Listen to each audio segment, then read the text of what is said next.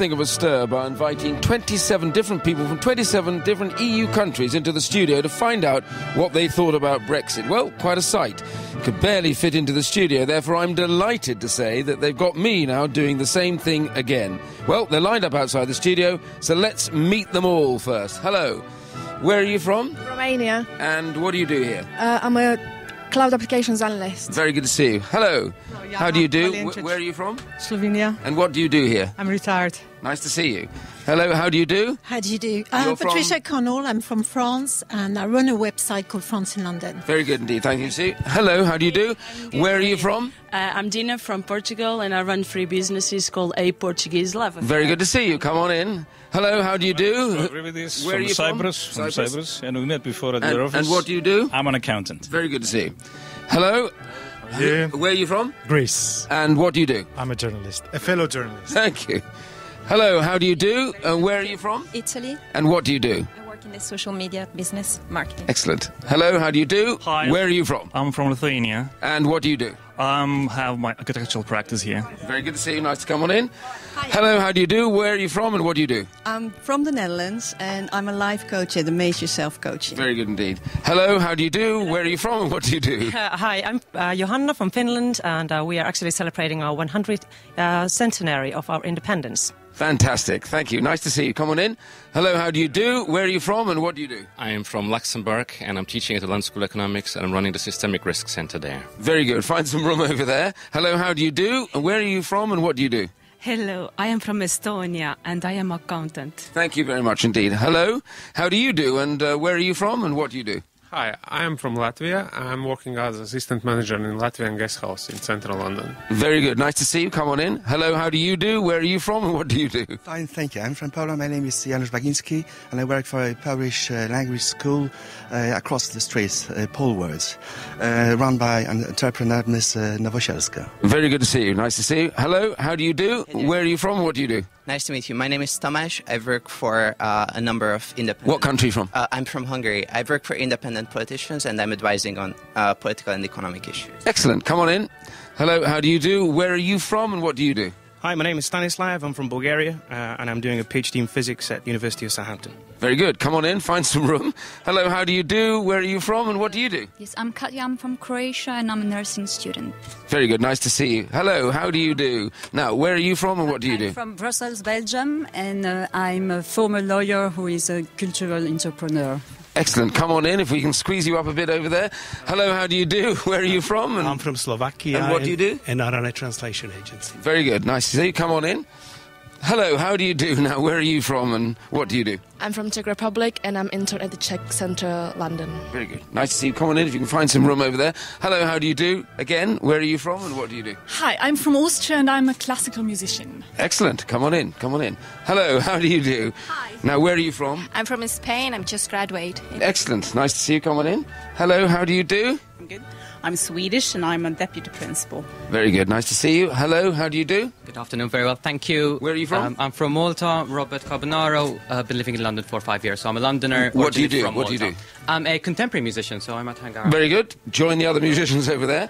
Hello, how do you do? Where are you from? I'm from Germany. I work for the German YMCA in London. Uh, oh, very good. Excellent. Nice to see you. Hello, how do you do? Now, where are you from? Um. Ireland, uh, Michael Kingston. I work. And Michael, what do you do? Um, I'm working on regulatory reviews into the Grenfell fire tragedy and Oh, very topical. migrant crisis in the Mediterranean. Oh, fascinating. Okay, come on in. Nice to see you. Thanks for coming. Right. Okay. Um, well, we're going to uh, we're going to get the uh, former leader of UKIP, Nigel Farage, M- Nigel Farage. I beg your pardon. Here. Uh, yeah. Okay, so I'm going to ask you a couple of questions. First of all, here, how many of you actually know uh, Nigel Farage? Can you just stick your hands in the air? Do you know of him? Know him? Have you- Yeah, you all know of him. Okay, hands down. And how many of you agree with Nigel Farage in, let's say, anything that he says? I'll give it a wide interpretation. No? Anyone? No hand? Not a single hand up. Oh, one hand at the back. Sorry. Whoa, I've got to take these headphones off. Sorry, say that again. He's got a good choice in his wives. Oh, he's got a good choice in his wife. Okay, very funny. He's got a good choice in his wife. How many of you actually then think uh, that Brexit will happen? Just hands up. How many of you think it's going to happen? Okay, pretty much everybody, mostly, except for a couple. He doesn't agree. No, I know, but I said pretty much everybody, but not, not everybody. And how many of you think that Brexit won't happen? Don't know. Don't know. Okay, so no. Oh, yes, one hand over there. That's from France, I think, is it not? Yes, it is indeed. So one, maybe two hands going up. So now we're going to bring. No, not here yet. Okay. So anyway, the quick question is here: How many? How? Thanks. I've got some headphones on. For those of you who are listening, this is a bit complicated here because we've got so many people in the studio. But I'm going to try my best on this. Water's gone everywhere. Ah, right. At last, the man himself. So, Nigel, it's a bit like being in the Dan- uh, Daniel in the Lion's Den, I think, isn't it? Are you ready to get started? You know, it feels a bit like being in the European Parliament because often hundreds of them don't like me there. So we'll see how we get on. Right, well, okay. Didn't say they didn't like you. well, we'll see. I heard a couple of agree with you. boos. so anyway, right, Nigel, let's uh, let's see what questions we've got here for you. So, who wants to ask Nigel a particular question? Okay, can I just have you stepping forward here? Okay, it's a lady from Finland. Go on. Hello, uh, I'm from Finland. I work for the Finnish Institute in London. And I would like to ask you, what do you think of the future generations in the UK and Europe? Quite many young people were actually quite keen to stay in the European Union, and uh, they have been happy for having these chances to study abroad and uh, in many European countries. So, uh, how, what do you say to them? Well, we don't who are disappointed. Need, we of the young don't need to be run by a bunch of unelected old men in Brussels in order to have student exchanges. We can do that without political union, and we will go on doing that once we've left the European Union. What is really interesting, though, is this that you're quite right. Two thirds of the young people in this country voted Remain, and yet. Across the rest of Europe, it's the under 40s that are voting for the new Eurosceptic parties of right and left. So, actually, if you look at Marine Le Pen's vote, for example, where she dominates is with young voters. So, it's, it's one area in which. It, it- Okay, right. Nigel, I'm going to get yeah. another question. I'm going to get another question. A gentleman here from Malta. Uh, obviously, those unelected um, people include yourself, because as you know, uh, you're a former um, member of the mem- European Parliament. still am. Um, yeah, of course. Um, although it's just the presidency. What's your question? What's your question? Basically, the question is, um, what about people who have partners? Um, say, f- say, I've got an, a, a British um, partner. You know, that will directly affect families, partners, and children. And we get the impression that we might be used as bargaining chips. What do you say to that? Obviously, you, um, you um, had, um, you know, a, a, an EU national um, as, as, a, as a spouse partner. Yeah, yeah. And uh, obviously, it's a very touching. Let's get him to answer that question. Well, do you know something? Um, I, I was all in favour of the government making a big, generous offer on this, and, and Monday of this week, that's exactly what they've done. You know, they've been very generous about this. That anyone that's here and has obeyed the law and paid their taxes are going to have full rights in this country. I think I think the UK government's taken the right position on this, but ultimately, you know, and just think about this. The population of this country is rising by half a million people every year. We cannot go on with open borders forever. Okay, Nigel, we've got somebody here from Hungary. What's your question? Um, hey there. Um, I wanted to ask you about some of your grudges with the EU. Do you actually think that they were irreparable in the short term and no reforms could have come through, for example, through the most recently published White Book? Well, of course, your Prime Minister in Hungary, of course, makes me look um, a very moderate Eurosceptic because he's been comparing the EU to the former Soviet Union recently. Look, the argument for years was let's reform the European Union. They had a chance to do that when they had the EU constitution 10 years ago. They didn't take that opportunity. You're living in a system where the unelected Commission has the sole ability to make law. That is not democracy. Right, Nigel, we've got someone here from Poland who wants to ask you a question. Uh, what do you think about the government's uh, uh, decision to uh, get all European citizens to apply for an, an ID? Uh, there are hundreds of uh, thousands of EU citizens who have already applied for permanent residence, and they had to go through very lengthy process of uh, doing paperwork and so on and so forth. And the criteria had to be very well, strict criteria had to be met, and now they are on par with all others. All right, Nigel, over to you. Do you know something? There was, question. a, there was a big report last week from a guy who had a big job at the Home Office and, and stood down two years ago. He estimates that illegal immigration, illegal, is running at a quarter of a million people every year into this country. It's back to the previous question. We have to get a grip on this, and if people have to fill in a few forms, so be it. Okay, we've got the Republic of Ireland here. Um, I'd just like to ask you, Nigel. You, you came in sort of laughing and, and, and joking, and but this is a very serious situation we're in, and I'd like to know what you think of the um, political upheaval that this is all all causing at the moment, and in particular with reference to um, political upheaval taking precedence over civic duty and issues such as recommendations following the Camberwell fire disaster, and why government haven't been able to take that seriously and focus Oh. on civ- civic issues. I think I know. Let me keep I- I- on, on, on the Europe issue. Yeah, I mean, yeah, obviously, I know absolutely. you're an expert in this area. I mean, it's very interesting.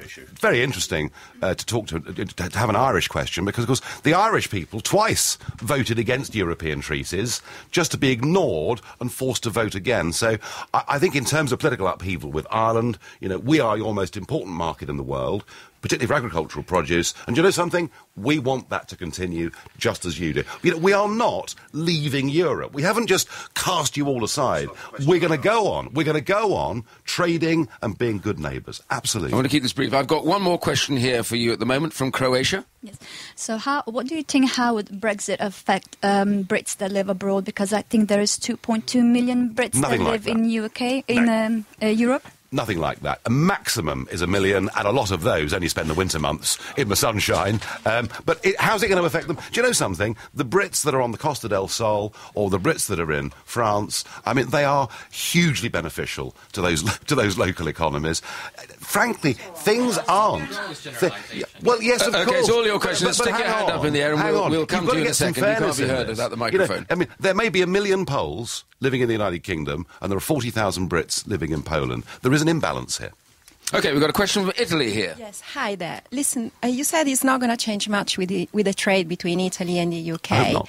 But actually, already a 9% decrease has been in the export of olive oil from Italy, which, you know, we're big producers. So what really is the forecast? What do you see between Well, the, I, I us mean, and I'm, you? you know, Italy, I'm afraid, is in a very bad is in a very bad way. Uh, you're stuck inside a currency that is completely unsuited for you. Um, I- I think Italy would be the first country to leave the eurozone. And, and to get back its own currency. And the sooner it does for the good of the Italian people, the better. You might want to come back on that one because he's made a prediction about your country. go on, you can have a real go at him. Go on. No, no, I'm saying um, there's something something that's going on in Italy. They keep saying about that, but I think before Italy leaving UK, um, European Union, should be looking at the causes that caused UK to leave Europe because I don't think it's a good thing, but I think some issues could be addressed. So maybe Italy could be helped to look at the Well, there is an argument. I mean, there is an argument that actually we might set a trend. That we might look to a Europe in 10 or 15 years' time, where as sovereign democratic member states, we work and trade and cooperate together rather than giving our power to the bureaucracy in Brussels. That's what we objected to. Right, I just want to quick because I've got a couple of people here. Uh, Nigel made a point here. He said he's been quite disparaging about whether the European Union will survive. How many of you here think that the European Union will survive over the next ten years in the form that it is at the moment? Well, um, they don't agree with you in that case. Well, they all that's think it all right. will overwhelmingly here. Right, we've got someone from Luxembourg's got a question for you. Thank you. Yes, uh, there's a tug of war going on between isolationist Brexiteers and globalist Brexiteers. Uh, how can you justify an isolationist Brexit as is being pushed at the moment from both party leaders, when probably democratic uh, solution will be to go for a soft Brexit to a globalist Brexit? Do you know something? If I think of all the people, including our host, that took part I'm last completely year, independent. I mean, today you are, of course. but if I think of all the people from the centre, left, and right that took part in the Brexit campaign, every single one of them made the argument that, freed from the European Union, we can pursue a genuinely global future. Brexit was not isolationist. Brexit was not backward-looking. It was allowing us to be fit for the 21st century. We are not protectionist. We're not backwards. We're looking out to a bigger world. No, no, no. We look, the, the, the European Union is 15% of the world's economy. I'm very interested in our relationship with the other 85 too. Okay, I've got someone here from Cyprus first and then the Netherlands. I'll take two questions quickly because I think you'll be able to get them both in. Nigel, you're talking about unelected persons, and I thought all MEPs are elected, uh, apart from commissions who are appointed by governments. But I run a few companies uh, here. I'm an accountant in practice, and I run a few companies. Half of my workforce are actually European Union citizens who live here in the past few years. What do I tell them on this question they ask me every day? What is their future? Very, very simply, um, it's tragic that we haven't been training our own people to be nurses and engineers and all of those things. Tragic. I mean, you couldn't run an engineering company in Britain without foreign labour. Not possible. There simply aren't enough people qualified in that field. What I would say to people who are coming here to work is come to this country on a work permit, pay your own health insurance, just as you would in any other part of the world. Right, we've got someone from the Netherlands here. You've got a question? Yes, Nigel, I've been here for one and a half years now, so if I read the, the proposal right, it means I will have to go. Is that is that No. the, honestly, the government produced this document on Monday. Download a copy of it. There's no nobody is being told they have to go unless unless they're criminals, and the government is going to say to foreign criminals, "We don't want you," which is perfectly reasonable. So? How come you say I don't have to go? But you, because you can work your passage. That's effectively what they've said. The government have said, even if you're here for a short period of time, once you've been here five years, paid your taxes, you will have full rights. We've got They- someone from- I promise you, they've been Okay. very, very We've got some, some Slovenia here. We've got to get to a few questions. Um, I've been here for over 30 years, and I do have an identity card which I was issued in the 80s. So identity cards were for uh, permanent residents. And I also have to say that we were only told about your visit here right while we were here on this, on this floor, and quite a, quite a few of us don't agree with it. I'm going to tell you why. Do, please. Um, I, I knew the way the uh, the uh, the vote was going to go because I was attacked on the train by some two Essex blokes who told me to go back to my country. That was like four weeks before the election. Um, I was up all night. I saw the results. I saw you talking on the telly. Um, and the way I felt in the morning is if, if I was dumped by my spouse on social media. I felt really, I felt personally insulted. I felt personally hurt. I felt like I no longer belong to this country after all this time. And I have to tell you that I, um, I didn't want to see a single person who speaks English that day. Fortunately, most people, I was cycling around London, fortunately, it was a, London was completely empty. And most people I met were either foreigners or Irish, so that was okay. But I still feel, but I still feel that, Well, that way. Hang on a second, Nigel. I still feel that way. That you know that I'm gradually becoming treated as second-hand, second tiers per, um, human being. I go to uh, the uh, national hospital, um, NHS hospital, and every single every single Commonwealth citizen who works there looks at me, at us, now completely differently. We are being treated differently than we were before. Well, that's interesting because before the referendum, it was the Commonwealth citizens who felt they were getting a rotten deal because anybody with an EU passport was at the front of the queue and they effectively were at the back of the queue. And what we're now going to do, as we go into this global future for Britain, we're going to treat people from, from around the world absolutely equally. Don't so you? your uh, rights, can I just? your, your, your hang rights of Nigel, here- can I just press you on this one? Yeah. She has made a rather personal point there. Yeah. Is there some sense of sympathy here uh, If- uh, i- for elements of the campaign on the abuse, etc., or do you Uh, feel there was, like there's been just an isolated horrendous. There's, but there was horrendous abuse during the campaign on both sides, and a lot of people, and a lot of people, and a lot of people, a lot of people behave very badly, and I don't approve of that at all. But all we've done, you know, we haven't, as I said earlier. We're not sticking two fingers up to the rest of the world. What we're doing is getting back our democratic rights to be a nation. There are 200 countries in the world that make their own laws and determine their own futures. We've just become a normal country again. Okay, we've got a gentleman from Slovakia here. Right, Nigel, Uh, you can't be heard if the microphone's not with you. So. Nigel, if I may ask you, early on you said we can't leave this country with open borders. Yeah. Now, it's one of those half truths or half lies which uh, have been put forward by yourselves and people on the Brexit side. It's not true because the Schengen finishes at Calais. And, and in fact, a number of uh, half of the immigrants in this country or new immigrants in this country are non-EU immigrants. So um, this message was passed on by people like yourselves. Inaccurate. It's the same thing as with the 350 billion million NHS. Sorry if I've- I'm finishing now. NHS. Th- These half truths have, have affected people who voted for Brexit, who were not quite aware of all the facts. so, Nigel, hang on. Before you do, just one quick question for you on the back of this. Do you regret anything that was said during the campaign that may have been misunderstood or Oh, I misled? think, or I, I, I think I think the big Boris thing uh, Ian, on the National Health Service, the 350 million, that was a mistake. If they'd said 200 million, it would have been legit. That was a mistake. But, but just, to, just to remind you, sir, a so called British passport has two words at the top of it. They are European Union, and 500 million people have those passports. And yes, we're not in Schengen. You have to show a passport at Dover, but we have total free movement of people. And I would say this compared to every other country in Europe, we, since 1945, have been the most generous, the most generous to refugees, the most generous and welc- welcoming to immigrants from all over the world. And we did for 60 years have a policy where net migration into Britain ran at 30,000 people every year for 60 years. It is now running at 300,000 a year. The point I'm making is we have to get a grip. We've got uh, time for one more question from Romania, and uh, then, as I understand it, uh, you're going to be leaving the studio, but the 27 are remaining. Ah. Hi, I'm from Romania, so I hope you're not too scared of being so close. Um, you know, the Brexit vote was based on lies such as the 350 million pounds a week for the NHS, scaremongering, and some really dubious funds from the DUP that were spent in the UK. Um, so I'm quite not sure that the vote was actually democratic, but that's another story. My question today is why is it, it's not for you, but it's for Theresa May. Why is Theresa May pretending she's made a fair and generous deal, and she's pretending that the EU must resop, uh, uh, resop, Reciprocate, reciprocate yeah. um, when they actually put a deal on the table on the 12th of June that guarantees my the UK's people's rights in Europe for life?